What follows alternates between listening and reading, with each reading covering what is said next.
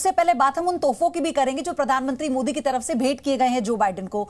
यानी कि आज किस तरह से एक गणेश जी की प्रतिमा चंदन का स्पेशल बॉक्स जयपुर से मंगवाया गया। आप देखिए कैसे हम आपको बता रहे हैं। चांदी का नारियल जो बंगाल से मंगवाया गया क्या क्या है इस पूरे बॉक्स में? कर्नाटक में, यानी मैसूर का चंदन, जो सबसे प्रसिद्ध है, जिसकी खुशबू को लेकर कहा जाता है कि बहुत ज़्यादा वो सुगंधित कर देता है, जैप, और इसी के साथ तमिलनाडु से तिल मंगवाया गया है।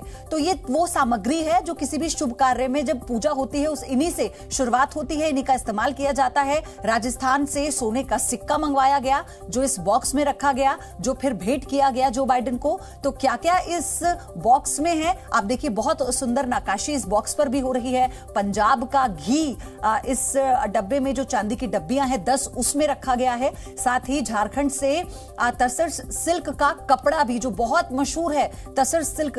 और भारत में कहते हैं कि सबसे ज़्यादा अगर कहा, कहीं का प्रसिद्ध है तो वो झारखंड का है, क्योंकि हाथ से इसे बनाया जाता है। बहुत मेहनत लगती है इसे बनाने में।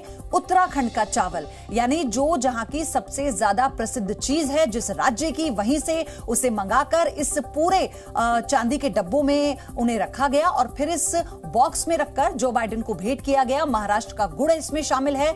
गुड़ भी पूजा जाता है और जितनी भी ये चीज़ें हम आपको बता रहे हैं, इन सभी डब्बों में उन चीज़ों को रखकर और ये एक शुभता का प्रतीक के तौर पर भेंट किया गया। गुजरात का नमक मशहूर है और चूँकि गुजरात से ही प्रधानमंत्री आते हैं और गुजरात का जो लगाव है, उनके अंदर वो हम सब जानते हैं और इसीलिए गुजरात का नमक भी इन डब्बियों में रखा गया है, एक डब्बी में उसका हिस्सा बनाया गया है। तो फ़िलहाल इस तरह से ये जो पूरी भेंट है वो तैयार की गई थी और फिर इस बेहद ही खूबसूरत लकड़ी के नक्काशी किए हुए डब्बे में रखकर जो बाइडेन को भेंट किया गया।